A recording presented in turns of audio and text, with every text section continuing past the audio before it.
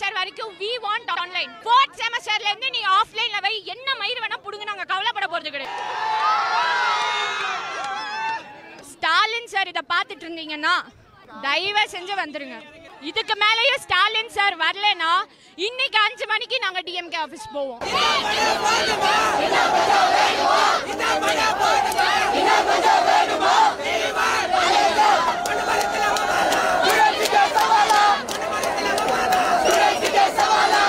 விடியல் தரம் அரசு விடியல் தரம் அரசுன்ட்டு ஓட்டை வாங்கிட்டு மாணவரின் வாழ்க்கைக்கு விடியல் தராம ஏமாத்துறீங்களே இது என்ன நியாயம்? இன்டர்னல் எக்ஸாமும் அசைன்மெண்ட்டும் எல்லாமே ஆன்லைன்ல தான் வச்சாங்க. பிராக்டிகல்ல இருந்து எல்லாமே ஆன்லைன்ல தான் சொல்லி தந்தாங்க. செம் எக்ஸாம் மட்டும் நீங்க ஆஃப்லைன்ல வந்து எழுதுனா இது எந்த விதத்துல நியாயம்? இந்த செம்மு வந்து ஆஃப்லைன் சொல்றாங்களா இருந்தா நீங்க செப்டம்பர்ல இருந்து இல்ல ஆகஸ்ட்ல இருந்தே சொல்லிருக்கணும் எங்களுக்கு ஓகேவா ஆஃப்லைன் ஏன்னா அப்பெல்லாம் பேண்டமிக்கா இருந்துச்சு ஓகேவா பேண்டமிக்கா இருக்கிறதுனால நீங்க எல்லாம் ஆன்லைன் கிளாஸ் நடத்துனீங்க. இப்போ பேண்டமிக் போயிட்ட உடனே எங்களுக்கு ஆஃப்லைன் எக்ஸாம் வச்சிருவீங்களா?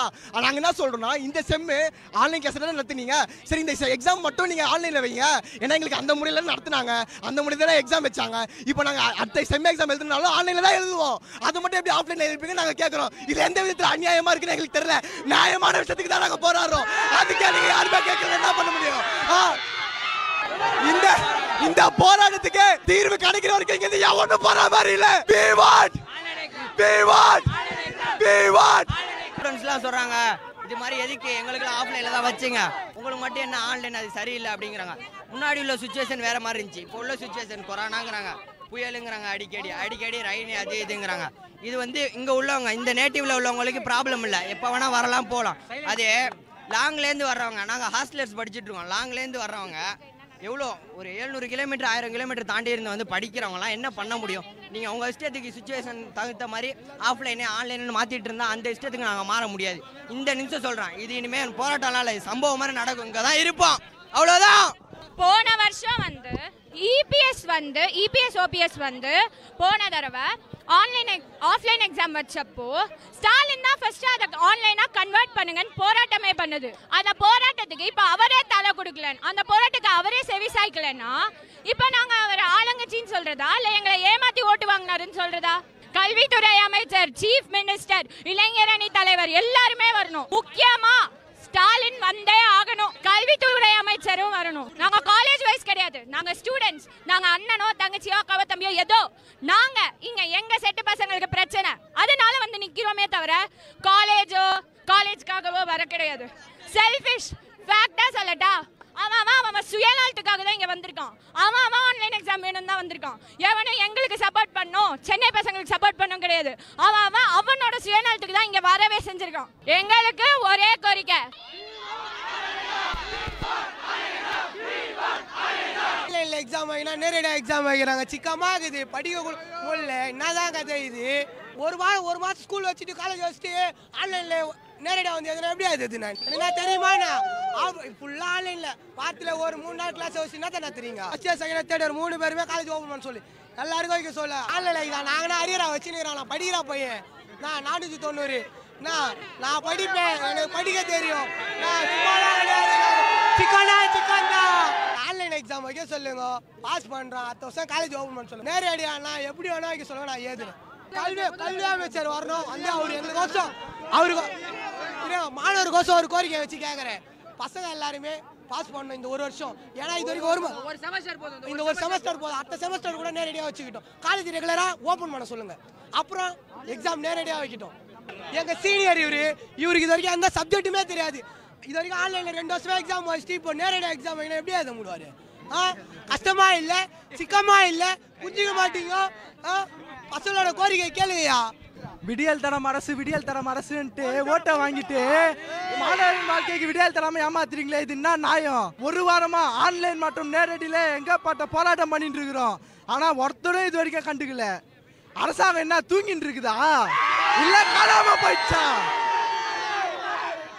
விடியல் தரம் விடியல் தரம் சொல்லி ஓட்டு வாங்கினீங்களே இங்க நின்று நாய் மாரி கத்துறோம். எங்களுக்கு என்ன விடியல் தந்த நீ?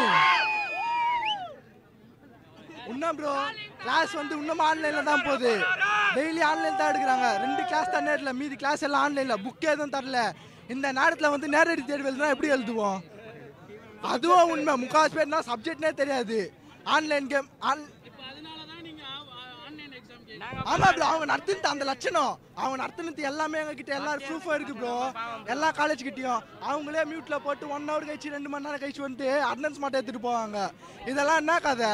இப்படி சொல்லிட்டு நேரடி தேர்வு வச்சா எங்க இருந்து எழுத முடியும்? மாணவர்கள் இவ்வளவு நேரம் போராடி நிறுமே யாருன்னா வந்தீங்களா அமைச்சர்? எத்தனா ஒரு போராட்டம்னா வரீங்களே?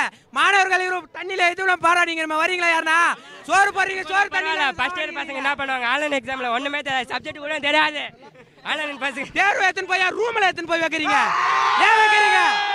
ரத்து செய் ரத்து செய். ஆன்லைன் எக்ஸாம் வைக்கிறதுனால தமிழ்நாட்டில் இருக்கிற பல மாணவர்கள் பாதிக்கப்படுகிறார்கள். அதுவும் இல்லாமல் இந்த அண்ணா யூனிவர்சிட்டியின் அண்ணா யூனிவர்சிட்டியின் படி இருபத்தைந்து சதவீதம் பேர் தான் லாக்டவுனுக்கு முன்னாடி பாஸ் ஆனாங்க. அப்படிங்கிற பட்சத்தில் ஆன்லைன் வைக்கும்போது ஆன்லைன் வச்சுட்டு இப்போ நீங்கள் ஆஃப்லைன் வைக்கும்போது எவ்வளோ அளவுக்கு பாதிப்பு ஏற்படும் என்றதை நீங்களே கொஞ்சம் நினச்சி பாருங்கள் அதுவும் இல்லாமல் நீங்கள் இந்த வாட்டி ஆஃப்லைன் தான் வைப்பீங்க. ஸ்டூடெண்ட்ஸ்க்கு டைம் கொடுக்காம நீங்கள் ஆஃப்லைன் தான் வைப்பீங்கன்னு சொன்னால் கல்வியோட தரம் ரொம்ப கீழ்த்தரத்துக்கு போயிடும். ஆஃப்லைன் ஏன்னா நாங்கள் வந்து அப்போ போதுமான அளவுக்கு தயார் இல்லை சார் போதுமான அளவுக்கு நோட்ஸ் இல்லை சார் எந்த ஆன்லைன்ன்ற பேரில் நடத்துகிறாங்க ஒரு சில காலேஜில் சும்மா பேருக்கு நடத்திட்டு விடுறாங்க சார் அதுவும் இல்லாமல் ஆன்லைனில் நிறைய விஷயங்கள் இருக்குது சார் ஆன் ஆஃப்லைனில் வந்து புத்தகங்கள் கொடுப்பாங்க. ஆனால் இங்கே அந்த மாதிரி நோட்ஸ் கிடையாது. ஜஸ்ட்டு அட்டன் பண்ணணுன்றாங்க அதுவும் இல்லாமல் காலேஜில் வந்தால் ஏழு மணி நேரம் எட்டு மணி நேரம் அட்டன் பண்ணுறதும் ஆன்லைனில் ஏழு மணி நேரம் எட்டு மணி நேரம் அட்டன் பண்ணுறதுக்கு நிறையவே வித்தியாசம் இருக்குது இத்தனை நாளாக ஆன்லைனில் தான் வச்சிங்க. கிளாஸ் ஆன்லைனில் நடத்தும் போது எக்ஸாம் ஏன் ஆன்லைனில் நடத்த முடியாது? இத்தனை வருஷமாக ஆன்லைனில் எழுதிட்டு இருந்தோம். அதாவது கல்லூரி வந்து இப்போ தான் ரீசெண்டாக திறந்துருக்காங்க. இது வரைக்கும் ஆன்லைன் கிளாஸ் தான் வச்சாங்க. அதாவது இது இப்போ கொஞ்சம் கொஞ்சமாக இப்போ தான் திறக்க ஆரம்பிக்கிறாங்க. திறந்த உடனே எக்ஸாம்னா எப்படி? அதாவது எங்கள் கோரிக்கை என்னென்னா ஆன்லைன் இந்த வருஷம் ஆன்லைனில் நடத்திட்டீங்க. அதனால் எக்ஸாமும் ஆன்லைன்லேயே வச்சுருங்க. ஏன்னா நிறைய பேர் வந்து கடன் வாங்கி படிச்சிருக்காங்க. நிறைய விஷயம் இருக்குது இந்த ஆன்லைன் எக்ஸாம்ஸ்லேயே அதாவது ஆன்லைனில் வைக்கணும். அதாவது யூஜிசியோ ஏஐசிடியோ சொல்லியிருக்காங்க.